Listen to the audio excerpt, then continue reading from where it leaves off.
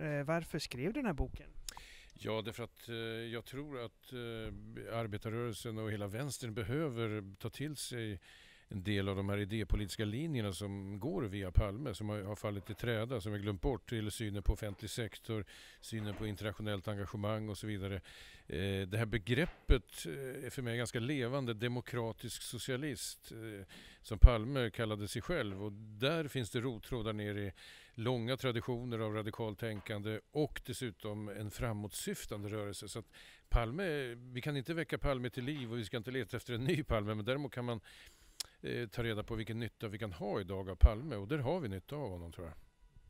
I boken gör du en skillnad på Palmes tid och nu. Alltså att man förde ut sitt budskap via sociala rörelser och inte i medier. Hur, hur ska vi göra nu? Ja, jag tror att, eh, alltså när jag tittar på Palme, det som verkligen syns så tydligt är detta att Palme som politisk gestalt blev möjlig därför att han var inbäddad i en stor och vitt förgrenad social rörelse som bar fram honom och samtidigt var det så att Palme kunde inspirera denna rörelse. Eh, och det där är på sätt och vis lärdomen på sätt och vis av de bästa sidorna av 1900-talet när det gäller radikal verksamhet eh, och mm, samhällsbyggande. Det är nog så här att vill man vända färdriktningen i ett samhälle så räcker det inte med att komma med olika idéer. Vi kan vara hur smarta som helst intellektuellt och komma med fantastiska idéer. Det ska man också göra, det är inte frågan om det. Men det är inte förrän det ögonblick då det uppstår eh, organiserade sociala rörelser som eh, samhällsordningen kan utmanas. Det tror jag var väldigt tydlig, en väldigt tydlig lärdom från 90-talet eh, när Sverige blev ett välfärdsland. Detta att det som verkligen satte tryck bakom idéer och bakom krav var detta att eh, borgerligheten, kapitalägarna såg att där borta, där är de väldigt många som vill någonting här. Det är inte bara en person som kläcker en idé, det är inte bara en intellektuell, det är inte bara en politiker utan bakom de där människorna så står det faktiskt hundratusentals människor som är organiserade i vare sig det är fackföreningar eller eh, ABF eller andra partier och vad du vill. Och det där tror jag är Eh, den kanske viktigaste utmaningen för arbetarrörelsen och vänstern överlag i världen just nu. Att eh, skapa, det är lättare sagt än gjort, men att skapa de här sociala rörelserna. För gör man det, då blir det lättare att kläcka de där idéerna också. Därför att när människor kommer samman, då uppstår idéer om vad man ska göra av ett samhälle. När vi är isolerade atomer så har vi svårare att mm, tänka klart och optimistiskt helt enkelt. Du beskriver Palmes stora politiska projekt som det starka samhället eh, och hans idé för det var den demokratiska socialisten eh, som någon slags andra utveckling. Vi hade först folkhemmet och sen det starka samhället. Eh, kan du beskriva det? Ja, vi kan väl säga så här att eh, 1928 eh, lanserade Per Albin Hansson den här idén om folkhemsbygget. Eh, och det uppfattades ibland som om det var en tillbakagång från de här mer radikala socialistiska idéerna. Och det var det i viss mening. Men på ett annat sätt så gav folkhemstanken eh, arbetarrörelsen möjlighet att förändra en massa saker i samhället. När det gäller bostadsbyggande och när det gäller barnbidrag och eh, hela socialförsäkringssystemet. Eh, det blev den här idébasen varifrån man kunde förändra ganska mycket. Eh, sen eh, i början av 50-talet så var ju socialdemokratin väldigt villrådig. Var ska vi gå vidare? Hur ska vi utveckla saker och ting här nu? Och då kläckte man ju den här tankefiguren det starka samhället som eh, då mynnade ut i eh, satsning på att bygga ut offentlig sektor, på att eh, skapa ett pensionssystem som eh, var mycket bättre än tidigare Eh, olika sociala rättigheter och så vidare. Allt detta gick ut på tanken att det krävs offentliga insatser för att stärka individen helt enkelt. Och det där var en stark tanke som dominerade svensk politik långt in på kan man säga 80-talet. Eh, man kan kalla det här för två olika språng. Folkhemstanken som det första språnget, det starka samhället som det andra språnget. Och problemet är att socialdemokratin aldrig lyckades ta ett tredje språng där man på sätt och vis var på väg på olika sätt. Och, och då handlar det väldigt mycket om att reformera arbetslivet och sådana saker och göra det mer demokratiskt och eh, mindre hierarkiskt. Och så här. Men det blev inte så mycket mer än MBL till slut kanske. Eh, man hade också de här andra idéerna, fast det kom mer från fackföreningsrörelsen, de med löntagarfonder som Palme inte gillar. Men man kan säga att eh, problemet för socialdemokratin det är väl detta att efter det starka samhället så har man inte lyckats kläcka ur sig någon riktigt stark vision om vilket samhälle man vill ha. Göran Persson var ju lite på väg åt det där hållet, får man lov att säga, när han myntade det här uttrycket det gröna folkhemmet. Eh, tyvärr så försvann det i ruljangsen med nedskärningar och allt möjligt under 90-talet och början av 2000-talet. Men det är väl lite grann åt det hållet man borde gå, alltså tänka i termer av en grön omvandling av samhället som också griper in i arbetslivet och gör det mer demokratiskt. Eh, för det är ju lite grann en tragedi att eh, arbetarrörelsen byggde upp en väldigt bra offentlig sektor men man glömde i princip bort de som jobbar där. Som blir kvar i gamla mm, arbetsrutiner och så här. Och du beskriver här att man valde då att bygga ut den offentliga sektorn istället för att ta över eh, den privata produktionen så skapade man en helt ny ekonomisk sfär. Men du skriver också att eh, väldigt få förstod det. Du är inte ens säker på att Palme förstod det som ett socialistiskt projekt? Eh, nej, jag tror att det är så. Därför att eh, man vill ju inte då på 50-talet välja den här vägen. Eh, flera där av de äldre eh, koryféerna som Gustav Möller och andra, de hade ju alltid kvar de här socialistiska idéerna. De fanns ju där närvarande hela tiden. Men alla var nog ganska säkra på att det är nog inte någon bra idé att gå ut och nationalisera banker och gruv eller vad det nu kunde vara, privata verksamheter. För då skulle det ta hus i helvete helt enkelt. Det är en väldigt svår väg att gå. Men däremot så såg man den här möjligheten att um, på alla de här, i alla de här sektorerna och områdena i samhällslivet där det behövdes nya tjänster. Det kunde vara sjukvård, omsorg, skola och så vidare. Där fanns det ju enorma möjligheter för det offentliga att gå in och bygga upp saker och ting. Och det var precis det man sen gjorde under loppet av 60, 70 och långt in på 80-talet. Och till slut så stod ju vi här i det svenska samhället med en offentlig sektor där nästan fyra av tio anställda jobbade. Och det är en sektor som i grunden eh, var undandragen marknadsmekanismen. Och frågan är då vad ska man kalla ett sådant samhälle för? Eh, de som är, och var vän, mer åt, långt åt vänster, de tyckte ju att det här var ingenting som eh, kan leva upp till begreppet socialism. Och Socialdemokraterna själva vill ju inte riktigt kalla det för socialism. Men, men om man ser det som ett samhälle där en så stor sektor var undandragen marknadslogiken så måste man nog beskriva det som ett slags embryonalt eh, socialistiskt samhälle som faktiskt växte fram under efterkrigstiden. Och det där eh, kanske det är först idag när vi ser hur vårdcentraler blir priva, privata och hela sjukhus säljs och ja, allt det här som inträffar.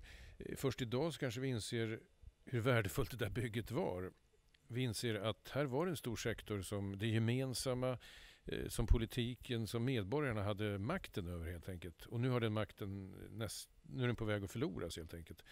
Och i det ögonblicket tror jag nog fler, kanske också på vänsterkanten, kan se att det var betydligt mer radikalt bygge man höll på med än vad ens byggmästarna själva fattade. Jag tror inte Palme alltid tänkte i de termerna. Du beskriver också att det fanns en, en skillnad i retorik och politik när, när det här starka samhället och den demokratiska socialisten levde kvar i valrörelsen 82. Samtidigt så kom man i regeringsställning och förde en ekonomisk politik som faktiskt var startskottet på nedmonteringen av Ja, det kan man säga. Alltså, när Palme och socialdemokratin återvänder till makten 1982 efter att ha varit i opposition i sex års tid eh, och sätter sig ner och ska styra detta Sverige så, så, så mm, eh, står man mitt i en internationell högervind för det första. Man står i en lågkonjunktur, man har en massa problem. Och då väljer man den här eh, vägen för den ekonomiska, ekonomiska politiken som drar åt mitten, drar åt höger kan man säga med Kjell-Olof Feldt och kanslihushögern i spetsen. Och det där, eh, ja det är helt enkelt en högervridning av den socialdemokratiska politiken. Det är ingen tvekan om att det är så. Och hur ska man då se på Palmes roll där? Ja det är intressant då tycker jag, därför att om man studerar de tal han höll under hela 80-talet de år han hade kvar att leva så ser man detta att han eh, förblir alltid lojal med sin finansminister för han visste att en regering måste hålla ihop samtidigt som han aldrig blir lojal med den här marknadsliberala ideologin. I tal efter tal så pratar han om detta vad hög arbetslöshet gör med samhället. Han pratar om eh, vad växande ojämlikheter gör och sådär. Så att han, han blir väldigt spännande på det sättet sina sista år därför att eh, samtidigt som han plötsligt upptäcker att han befinner sig mitt i en internationell högervind så kämpar han ganska heroiskt för att hålla fast vid de demokratiskt socialistiska värderingar som han har. Va? Och där tycker jag att man får kontakt med Palme eh, väldigt tydligt därför att det är också den tid vi själva lever i på sätt och vis. Vi lever i en marknadsliberal era. Samma era som egentligen på allvar började under 80-talet. Där befinner sig vi också idag. Och den här Palme från 80-talet kan man faktiskt eh, komma nästan existentiellt nära just genom att han står i samma vindar som du och jag gör här liksom, och inte riktigt vi vet vad vi ska göra alltid. Eh, så det är rätt spännande. En dag som den här går det ju inte att eh, komma undan kärnkraftsdiskussionen. Palme var central i den och vi har också utvecklingen i Japan. Ja, alltså de sista dagarna här, eller sen i fredags, eh, när man har sett den här tsunamin och sen skalvets efterverkningar i Fukushima där. Och, Eh, jag nämnde ju när jag pratade alltså att eh, jag skriver om det i boken också, att Palme var ganska jag är, jag är nästan på gränsen till döv inför den här gröna civilisationskritiken som dök upp under loppet av 70-talet i Sverige. Han var inte helt döv, för att han, var intresserad, han hade vänner som var intresserade av miljöfrågor. Han var med och startade Naturvårdsverket och allt möjligt. Men han kunde nog aldrig förstå den här kritiken av tillväxtsamhället till exempel. Det, det tror jag aldrig han kunde för sitt liv fatta vad det skulle vara bra för. Så eh, det hela det syns ju väldigt tydligt i kärnkraftsfrågan där han eh, egentligen bara tack vare Lisbeth Palme eh, föreslog till slut åtminstone en omröstning om kärnkraften.